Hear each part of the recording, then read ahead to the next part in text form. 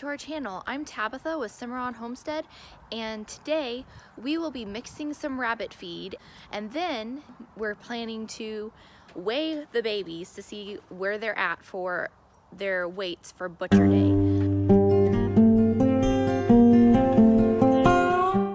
We are going to mix our rabbit feed for you guys today so you can see what we give our rabbits and then at the very end I'm hoping to weigh the babies for you because butcher date is coming and I'm really curious what their weight will be.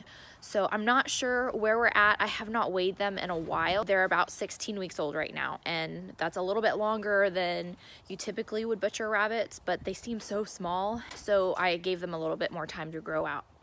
But now the, the day is here and I want to see what their weights are so I kind of can anticipate if we're in the ballpark range of where we should be but we'll find um, out. We put two things in our rabbit feed um, and this is fed to them in addition to hay. We do dehydrated alfalfa, alpha pellet.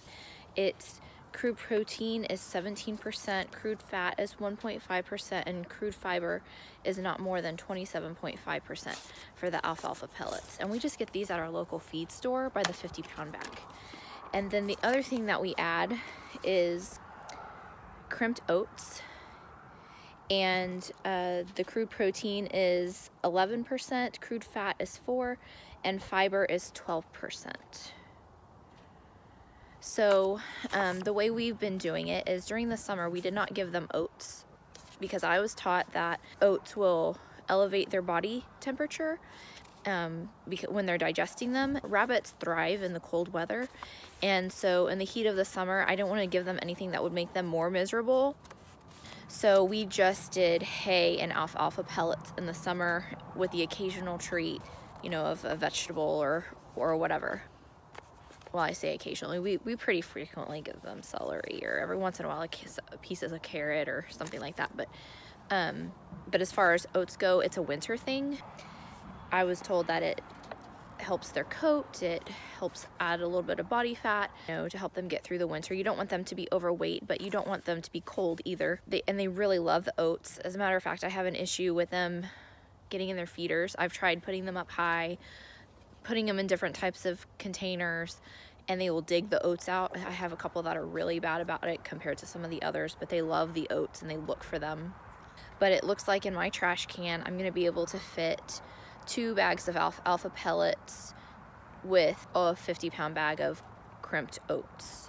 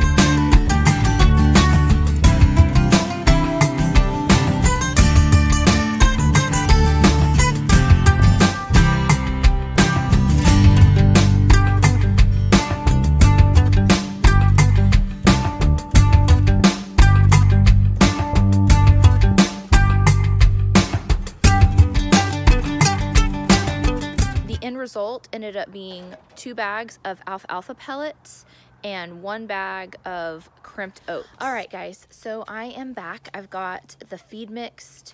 I've got the bunnies fed and watered and hayed, and I am um, getting ready to weigh the babies.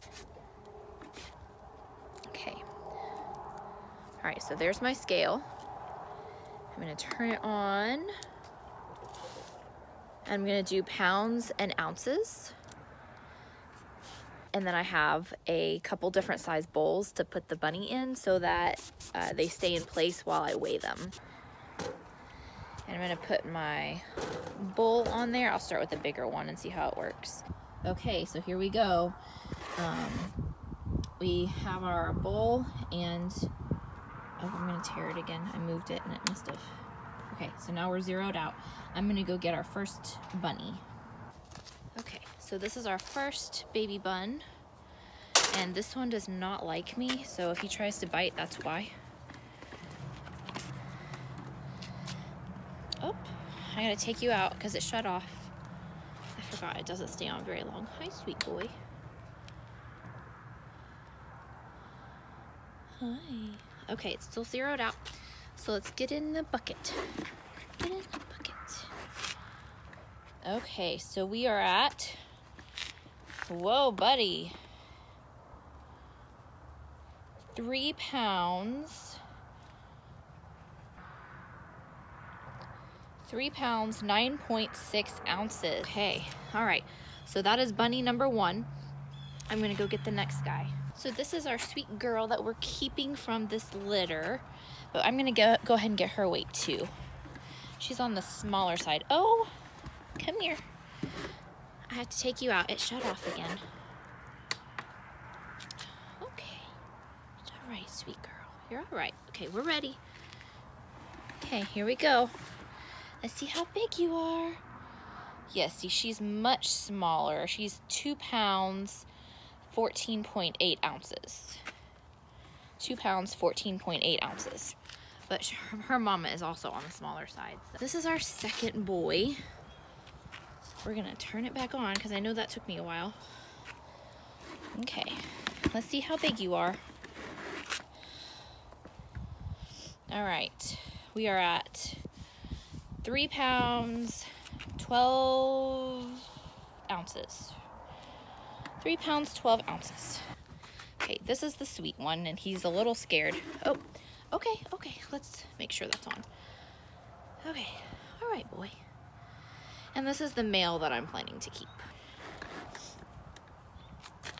Oh, how big? three pounds, 13.2 ounces. The girl was a little bit on the low end. Her mom is really small. Typically, when full grown, the, the females are bigger than the males. Not always, because like I said, um, Zoe is their mom and she is uh, smaller than average rabbit. She's a New Zealand.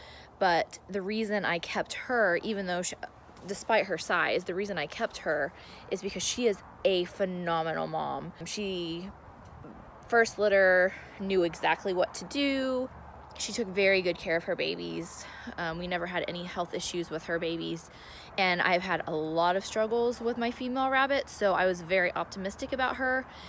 It doesn't matter what size they are if they don't survive birth, you know what I mean? Because that's been the issue we've had with some of our other females that we've had is that they have no mothering instinct and they don't build a nest or they don't take care of their babies. Or we had one female that I kid you not, she ate every baby that we tried to get her to, to um, kindle. And she literally ate them and we couldn't ever figure out why. Um, so yeah, we've had really rough luck with baby rabbits and mama rabbits, but no bad luck with boys. We have plenty of those. Yeah.